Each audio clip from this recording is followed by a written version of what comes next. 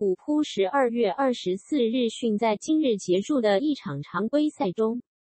七十六人以一百一十三到一百零七击败奇才。赛后，七十六人主教练道格里弗斯接受了媒体采访，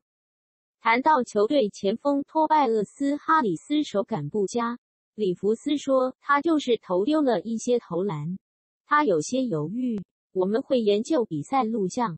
谈到球队后卫丹尼格林的表现，里弗斯说：“丹尼的机会并不多，他不再年轻了。”谈到球队后卫马蒂斯塞布尔没有出场，里弗斯说：“马蒂斯错过了一段时间的训练营，他会获得机会的。我每天都这样对他说。”谈到球队关键时刻的表现，里弗斯说：“对于一支还没有完全磨合的球队而言。”